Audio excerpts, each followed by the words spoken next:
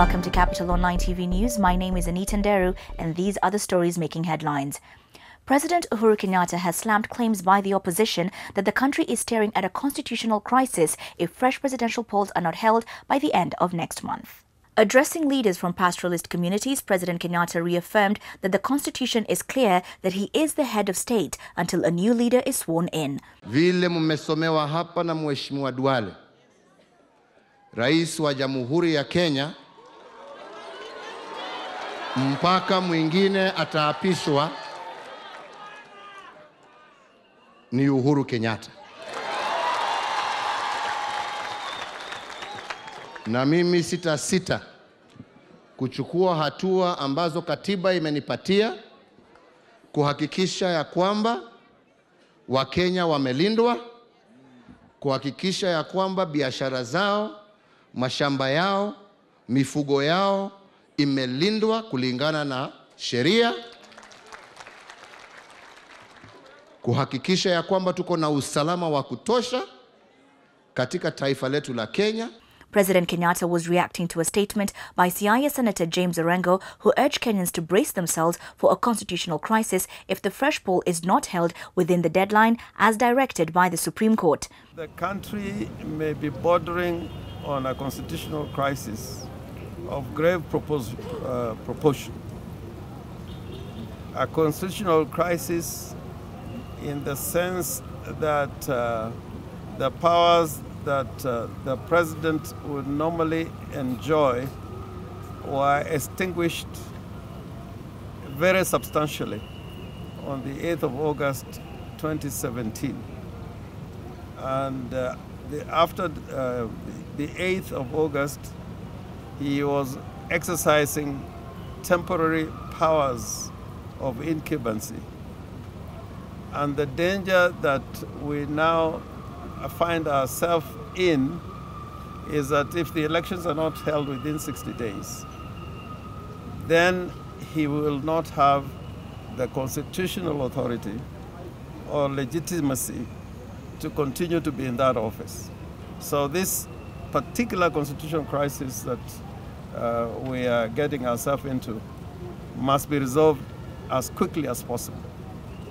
And that can only happen if we have an election conducted in accordance with the Constitution. And the IEBC is not going to run away from it because the court has spoken very loudly that they cannot conduct any other election except an election held and conducted within uh, the provisions of the Constitution. The cabinet has approved 10 billion shillings for a repeat presidential poll requested by the Independent Electoral and Boundaries Commission in a proposed budget submitted to the Treasury. In a cabinet meeting chaired by President Uhuru Kenyatta and his deputy William Ruto earlier Thursday, the executive decision was arrived at in what they unanimously termed as a plan to reorganize the 2017-2018 planned expenditure so as to meet the obligations turned priorities created by unforeseen circumstances. According to the poll agency chairman Wafula Chebukati, the new approved funds will go into implementing key tasks, especially those related to technology and training of the electoral officers.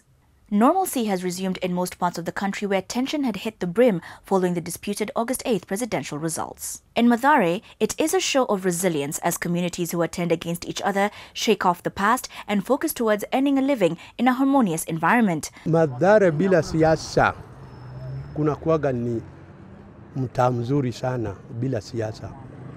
Biashara tunafanya vizuri, hatuna ukabila, hatubagui ati huu ni Mjaluo, huu ni Mkikuyu, huu ni Mkisii.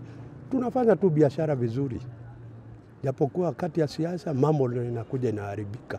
Others who spoke to Capital TV have called on political leaders to avoid inciting communities against each other and instead focus on service delivery. Kwa viongozi wetu, ningependa tu waambie wapendane, wa waelezane tu, wasikilizane, wawache kufanya wanadamu wazozane juu wao wako juu na sisi tuko chini. Juu kama wanazozana huko juu, sisi pia maisha yetu hapa chini inakuwa mbaya. Sasa ni vizuri waelezane, wafanye vitu zenye inafaa.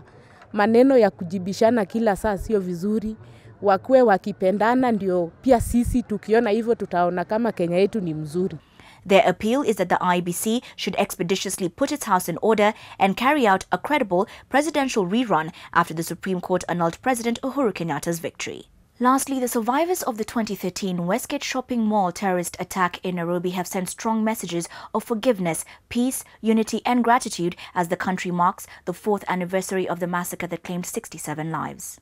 During the memorial anniversary graced by the First Lady Margaret Kenyatta, the survivors described the Westgate assault as a cowardly terrorist act aimed at intimidating Kenyans, but from which they emerged victorious.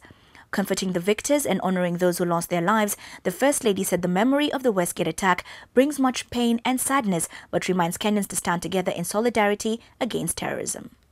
Today, we remember people like you and me who were full of hopes and dreams whose lives were changed forever. Fathers, mothers, sons and daughters, brothers and sisters.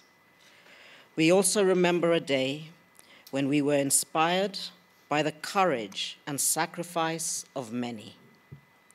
We are honored to be in the presence of children, women, and men whose lives are a true testament of the endurance and strength of the human spirit.